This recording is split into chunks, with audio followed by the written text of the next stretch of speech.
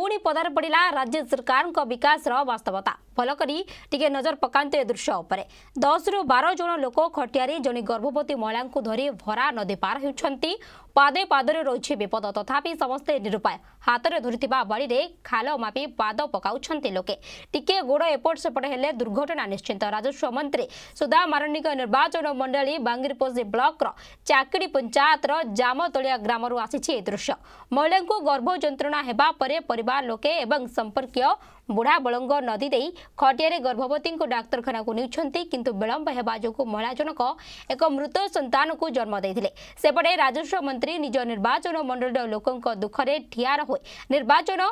प्रचार व्यस्त रही जहाँ को नहीं अंचलवासी असंतोष तेजार लगी तेज प्रश्न उठू